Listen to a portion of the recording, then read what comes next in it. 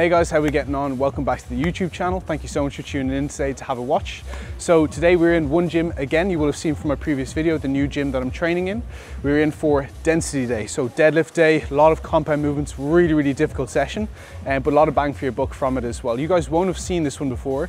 It's very similar to the pull day that I did my first actually um, kind of exercise video or kind of walkthrough of my, my plan on YouTube a couple of episodes ago. But now that we have more lower body volume across the week, we've added in a, instead of, of a pull day is, is now a density day. So there's more leg pressing and leg extension stuff in here, but I'll walk you through the session as a whole. So a little bit of an update on me. The last month has not been, you know, perfect as a whole. Got sick, um, picked up an injury, you know, had to run D volume rotate. It hasn't been an amazing month. And what I wanted to try to get across is these months happen. You know, it's not going to be perfect plain sailing for the whole year every year.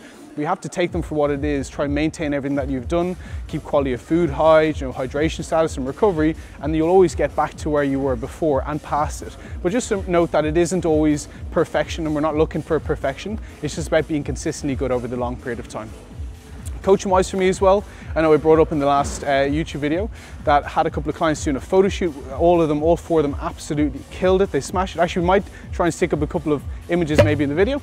Don't know. Yeah, we'll give it a, give it our, give it our best shot if we can. Uh, they absolutely killed it, so I'm really happy with how the team are going at the moment. And that's pretty much it as an update for me. I'm sitting at about 86 on the nose this morning, um, kilos, so a little bit up. Food is in a good place, body composition in a good place, and just all about performance in here now. So let's get into it. Set one, bring the deadlift bar down. So actually something I learned the other day was, this is a, as you guys can see, a deadlift bar, which is different than a, the one here they have is a power bar, so it's slightly longer in length, in distance. So we can have a little bit of a curvature in the bar, tiny bit, to allow to take the slack out of the bar and almost to get you into position before you start the pull, which hopefully I, I won't be using enough weight today for you to be able to see that, unfortunately. Maybe one day, a couple of months, we'll get there.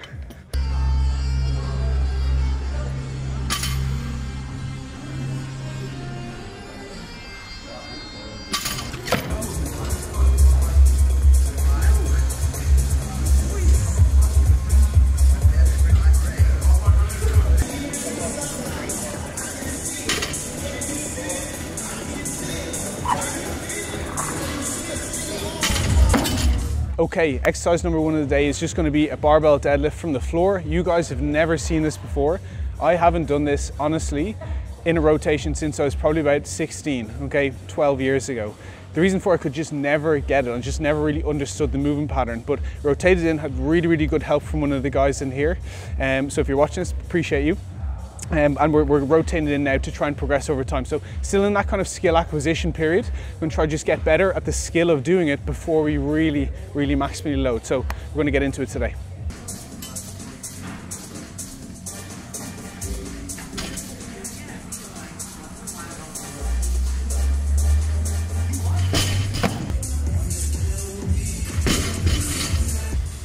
So one thing I've tried to do over the last couple of weeks was I got loads of help from Jacob, which I really, really appreciate you if you are watching this, about how to execute deadlift. He's a master at deadlifting.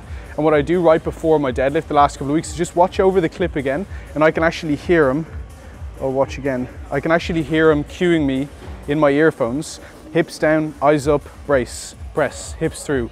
And it's just kind of a reiteration then of the, of the cues that I need to be thinking about right before I go into my top set.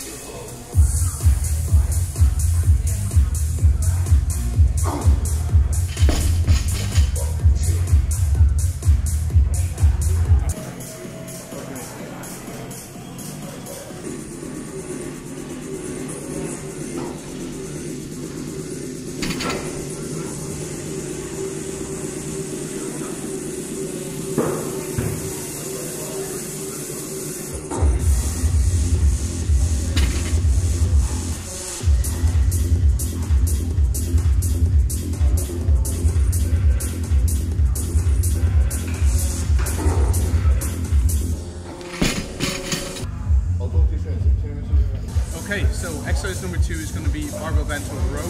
This is directly after deadlift. So erectors and upper mid back are already a little bit fatigued, so you have to be wary of loading. But if you want to build a big back, big thick dense back, deadlifts bent over rows, can't go wrong.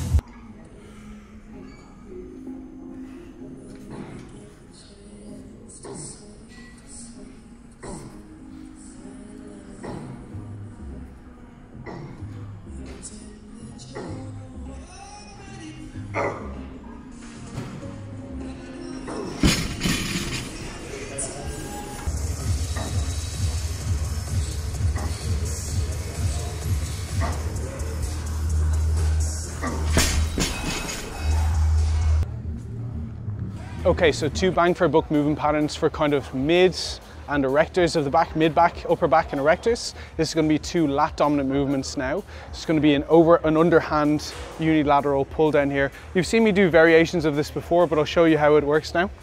You know what, I've, al I've always wanted this piece yeah. in the gym, but you know the one in Club Lime used to be an overhand? Yeah. And that pulls the elbow down. And if you guys revert back to my pull video, which you should have watched already, we need to be keeping the elbow inwards and directed to the hip. And this hand position here actually allows us to do that, which is really, really nice. It'll feel two reps aside.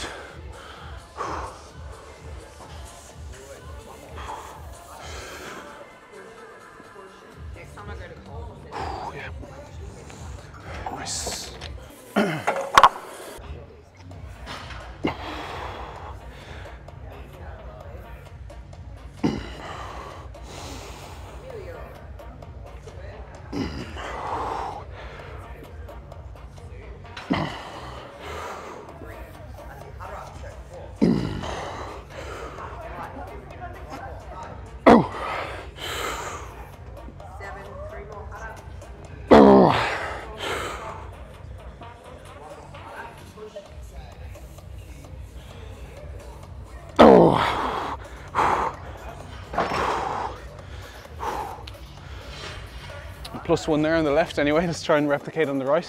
So that's, uh, other than my, my deadlifts, my first set of deadlift was a, we match reps, but definitely better execution without a shadow of a doubt. Jacob, I'll be sending that over to you today to see what you think. But everything else so far has been a PB, which is great.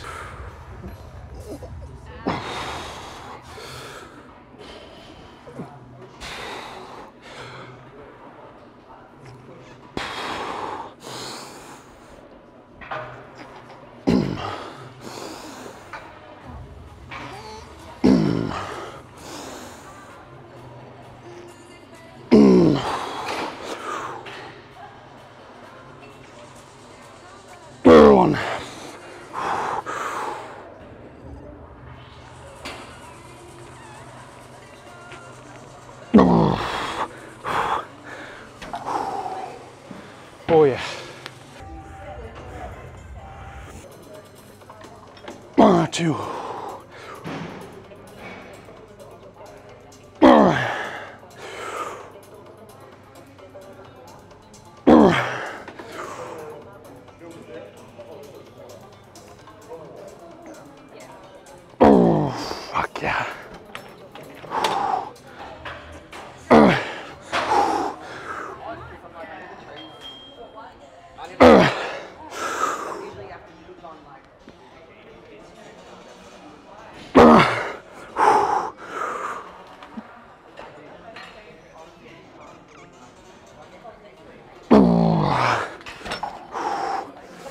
Oh, oh my God.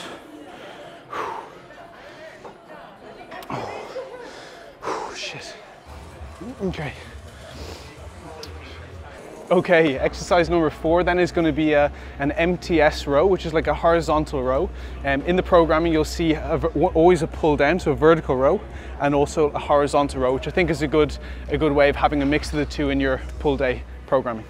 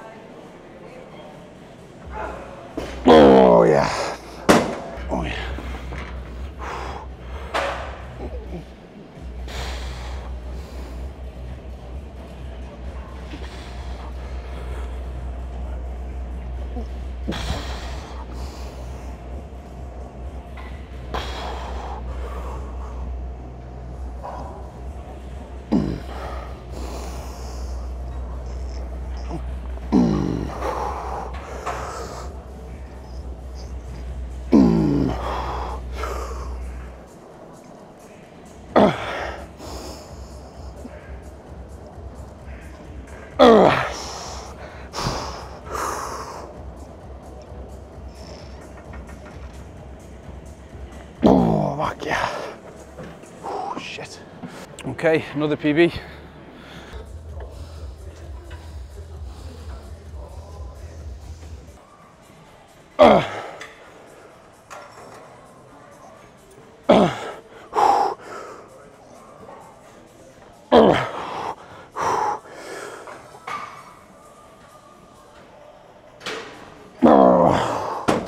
Oh shit.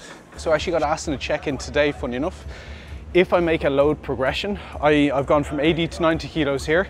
I assume I should do not do less I, I should do less reps. I shouldn't be able to get the same amount.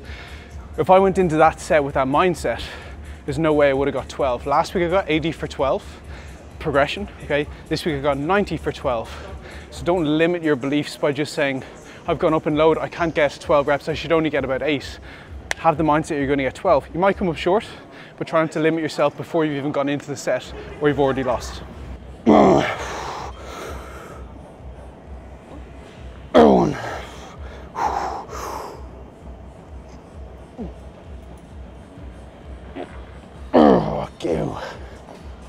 Oh yeah. Big progressions there, we'll take that. Shit. Okay, 90 for 12. So, two progressions, good.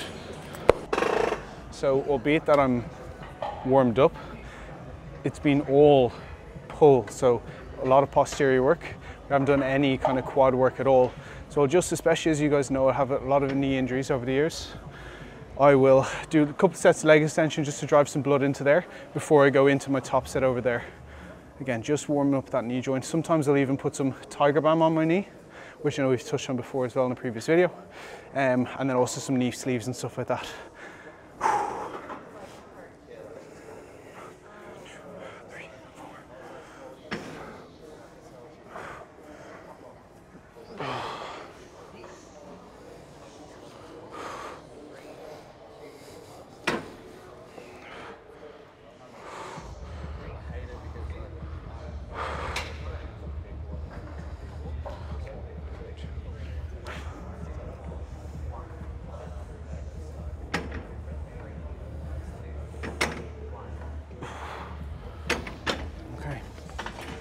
It's hell though. It's good though.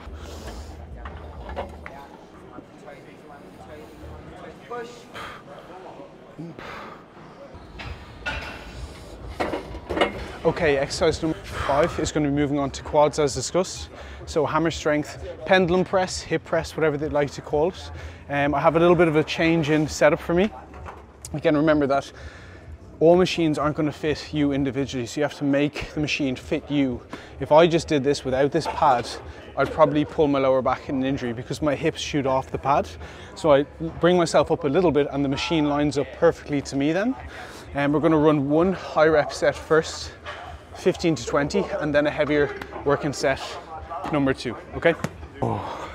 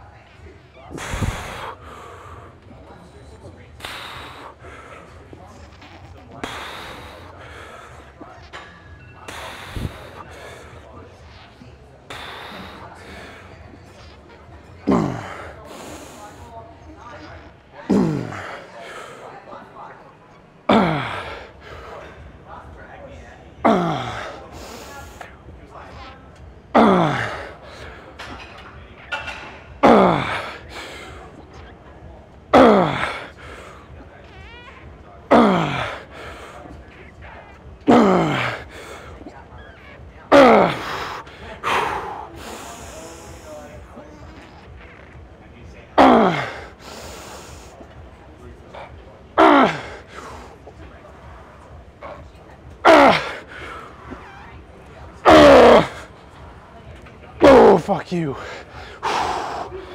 Oh, you bastard. Fuck.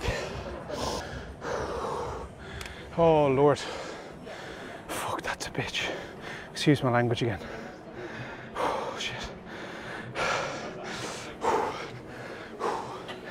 Oh, oh shit, man. It's honestly so hard, that set. Hard sets equals excellent physiques. Okay. Feels crazy to do this, but we're gonna add one more plate on for our top set then. Yeah, okay. The difference between this and just a normal leg press, you'll see as the pendulum, as you come through the movement, okay, as you press away, the weight becomes heavier and heavier and heavier. So as you're pressing, it's getting harder. So the shortened position is really heavy and the lengthened position is a little easier. So it kind of almost tricks you, oh shit, you know, I have another rep here. You press it halfway and then it gets really, really difficult. But it's a beautiful, beautiful machine. If you guys have this in your uh, gym, definitely give it a crack. Oh, here we go. Just says hammer strength leg press, pendulum press, hip press, something like that.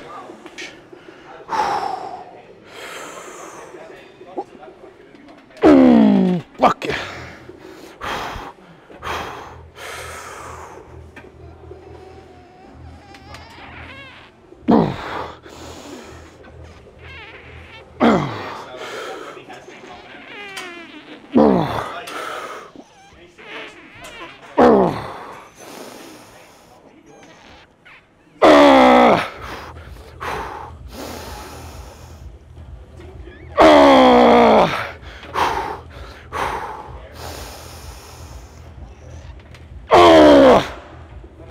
There's one, come on. PB, come on.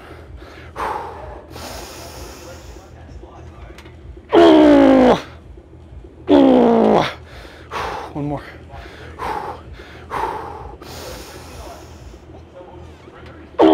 No, fuck, nothing. Fuck. It's always a nice feeling on something like this. Right now, there's no injury going to be caused here from the machine itself. Fucking hell. So you can go to until you can't go anymore. Barbell on your back, go for a back squat, probably not a great idea. So pick and choose your machines to go to failure. okay, so next exercise for quads is going to be a quadruple rest pause. It is horrendous. I don't advise anyone to try this at home, but it's going to be a quadruple drop set, like I said. So we're going to use a rest pause set, the same load for all sets. I'm going to hit close to 20 reps. So I have 20, 27, six, and then eight for the last one. So three sets normal, as many reps as possible with 25 seconds in between. And then the last one, I won't be able to get as short at all. So I'm just gonna work the, the kind of the partial lengthened range for about eight reps or so, okay? And I'll try and make them as perfect as I can, but understand that this is a quadruple rest pause set. It's not gonna be perfect. Okay, nice little tip as well for leg, leg extensions. This is just wrap yourself in here, strap yourself in with a band to create a little bit more stability.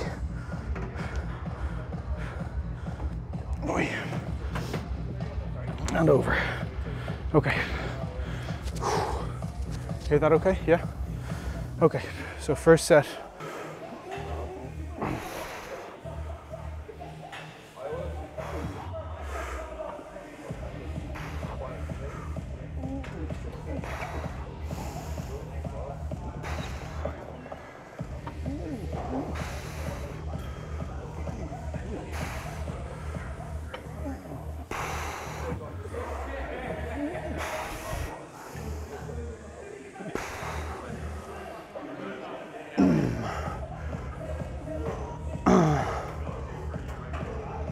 Oh,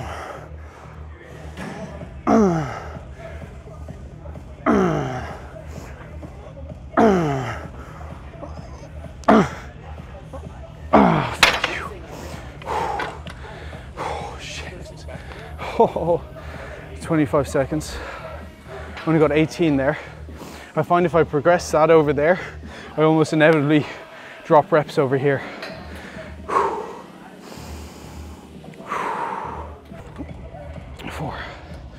Just an AMRAP, as many reps as possible.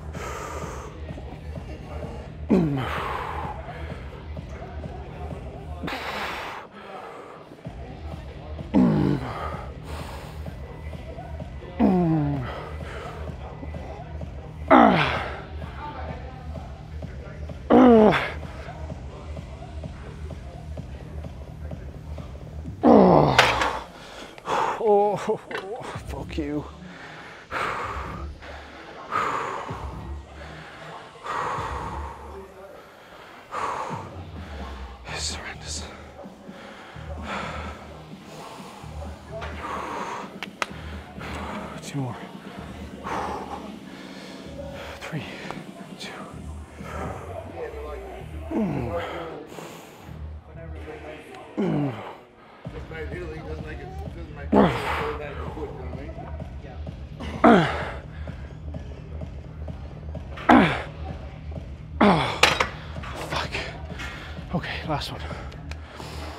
So as you can see, I'm only getting four or five. I can't get it any short, shorter. So you'll just see me working the partial, like the half, first half of the rep.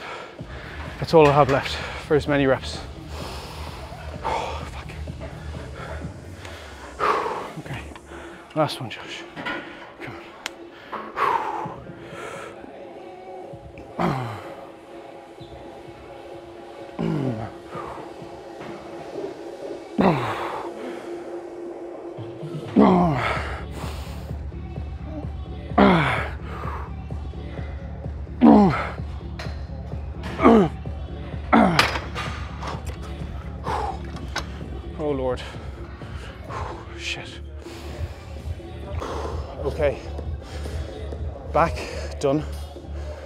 Quads done.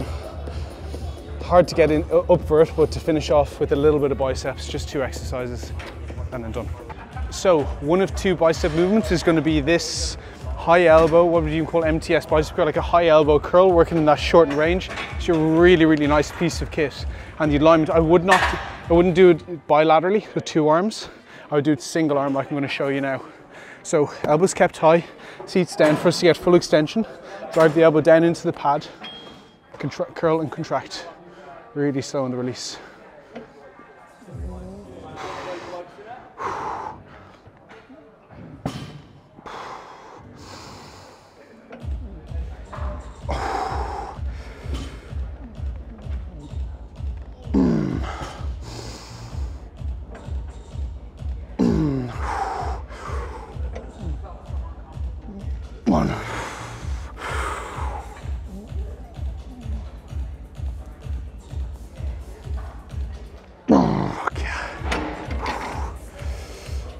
Another PB to add to the list.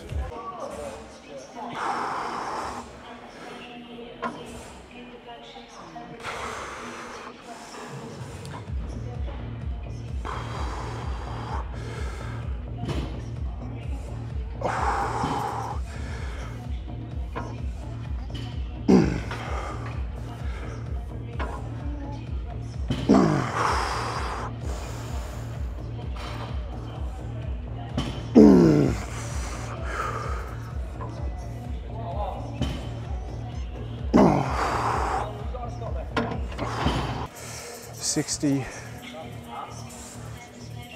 Okay, power of the logbook. I would usually do 60, drop to 50, but it told me last week I only got seven when I dropped to 50. So I'm just going to drop that into 40 and make it a little bit better quality. Oh, okay, one, come on.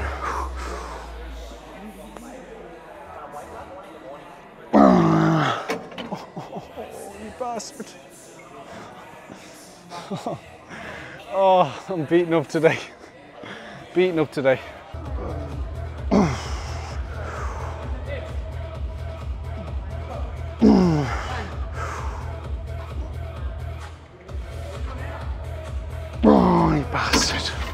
Final one today is going to be a preacher curl, and you will see that on that exercise that we just did. It's pretty easy there, okay, in layman's terms, in the lengthened range. But when we get to there, it gets really, really difficult. This one is the other way around. So you're kind of pairing them up cleverly so that it's really difficult and stretched. But as you curl, it gets a little bit easier. Okay? I'm just gonna go for this set now because I'm in. I'm not wasting a rep today.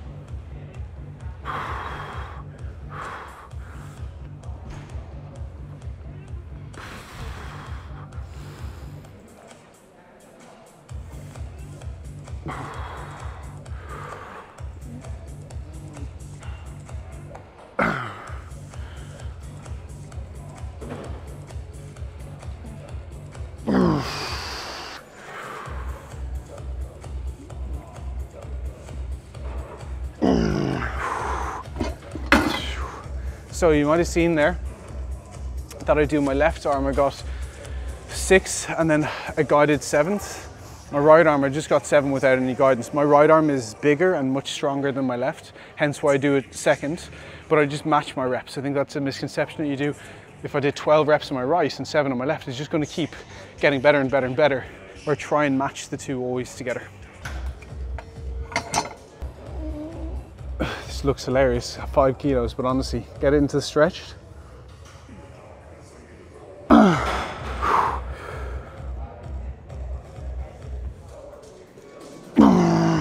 Fuck.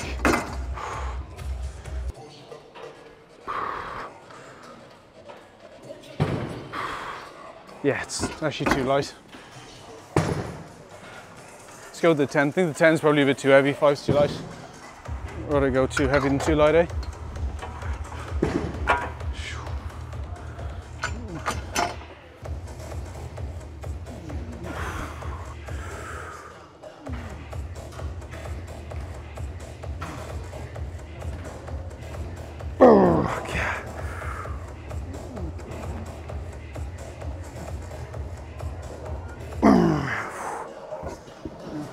Two extras on this. Let's get out of here.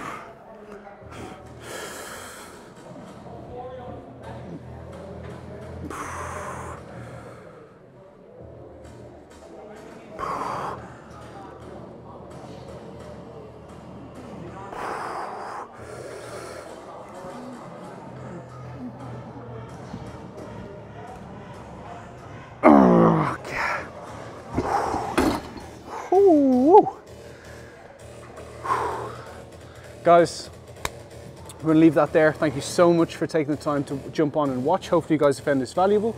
I actually love to get a little bit of insight of you guys, just like being a fly on the wall kind of raw workout style, or do you really enjoy the kind of the informative part of the content, or a little bit of a mix, mix of both? So please do comment below, and whatever you guys want to see is what I'm going to try and produce for you guys. Um, so as always, thank you so much for, for jumping on um, and having watched today. Please give this video a like and comment please and also make sure you subscribe to the channel. We're almost at 400 subscribers which is excellent and really really helps the channel to go so I really appreciate it.